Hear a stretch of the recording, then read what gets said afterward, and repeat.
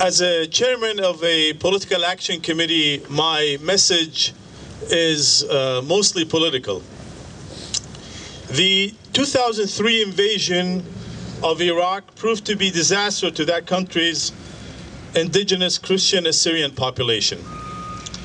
Assyrians were among the, the early converts to Christianity, and the church they established in Mesopotamia or present-day Iraq is credited with spreading the word of the gospel and evangelizing hundreds of thousands of people belonging to many tribes, nations that inhabited the regions of the Middle East, Central Asia, China, and the rest of the Far East. So when Marco Polo arrived, he was amazed to see, he said, oh, there are Christians already here. According to the last census, when he arrived in China, that is, according to the last census that Saddam's regime held in 1997, the Assyrian population, also known as Chaldean and Syriac, was listed to be 1.5 million. Today's estimates are that more than 700,000 have already left the country and they are already living in the US, Europe, Canada, and Australia. A big percentage of them are refugees in the neighboring countries of Jordan and Syria, waiting patiently to receive their immigrant visas to join their brethren already settled in the West. Initially, when the invasion happened, the two main ethnic or religious groups that benefited from the US invasion of Iraq in 2003 were the Kurds and the Shiite Arabs. The Kurds became the main power brokers in the new Iraq because they have been the trusted allies of the West since the toppling of the monarchy in 1958 by communists and the launching of the Kurdish insurgency in 1959 in the northern part of the country. After the invasion of Iraq in 2003 and with the help of the US, the Kurds were able to establish a semi-autonomous region in three provinces and are demanding that they annex oil-rich Kirkuk, and vast areas of two other provinces, or as their leadership has openly stated on many occasions, they would secede and take the lands they are claiming with them by force. Historical Assyrian lands are in the northern part of the country, most of which are now under the control of the Kurdistan regional government. What is left of the Assyrian lands is part of the Nineveh province and is referred to as the Plain of Nineveh. Since the U.S. invasion, over 66 Assyrian churches throughout the country and belonging to different Christian denominations have been attacked by terrorists and thousands of Christian civilians have been killed without the federal government of Iraq in Baghdad or the Kurdish regional government in the north lifting a finger to find out who the perpetrators are. It is the moral responsibility of the US government to protect the indigenous ethnic population of Iraq because it is a consequence of its military adventure there that the recent attacks of violence against Christian Assyrians by ultra-nationalist sectarian militias and political opportunists are being committed under the disguise of Islamic terrorism.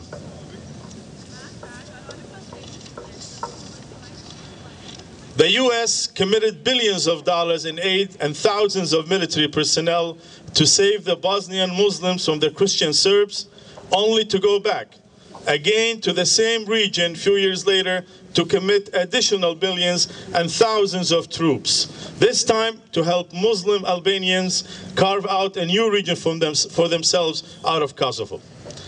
Assyrian Americans are asking the US administration and the rest of the civilized world that they apply the same principles of justice and human rights that they use in Europe to save the European Muslims to help protect the Christian Assyrians from genocide and complete destruction. Nothing special. We don't want any special help. Just whatever you applied, the US administration in the West, whatever you applied to help European Muslims, apply the same standard to us. We're humans too. The Iraqi constitution that the US helped write grants the, the Iraqi constitution that the US helped write grants the Assyrian Christians and other minorities the right to establish a new province in the plain of Nineveh with ties to the federal government in Baghdad. And I stress here, with ties to the federal government in Baghdad. We do not want ties to the regional government. We do not need guardianship. We're adult enough. We don't need Kurdish regional government to guide us, uh, guard us. The new province will be the only area in post-Saddam Iraq that has different ethnic and religious groups living side by side in peace and harmony. We don't want a province for Christians only. We want to live in peace and through partnership with the different ethnic and religious components, such as Arabs, Yazidis, Turkmen, Shabaks, and others. Article 125 of the Iraqi constitution will allow the different ethnic groups living within pro this province to administer their own affairs, preserve their language, and practice their religion freely. We will show the rest of Iraq and the world that Christians and Muslims, Arabs and Assyrians and others can live in peace, together in peace and harmony once again. To the Iraqi politicians that are against the creation of the 19th province because they claim it will be created along ethnic and sectarian lines, hence it will be unacceptable because it would be unconstitutional. These people are now defending the constitution that they completely ignore other times. I want to remind them that they received their government, that they were elected based on ethnic and sectarian votes. All of them were elected based on ethnic and sectarian votes. I want to remind them that they received their government positions and other privileges because of the sect they belong to or their ethnicity. I want to remind them that the areas they live in outside the green zone are divided along ethnic and sectarian lines. I want to remind these politicians that almost all of them, all of them belong to religious and ethnic political parties. I also want to point out to the same politicians that if a province or region cannot be formed on religious or ethnic basis, then the existence of the Kurdistan region is also unconstitutional. This is the only option left for the Assyrians to create the 19th province.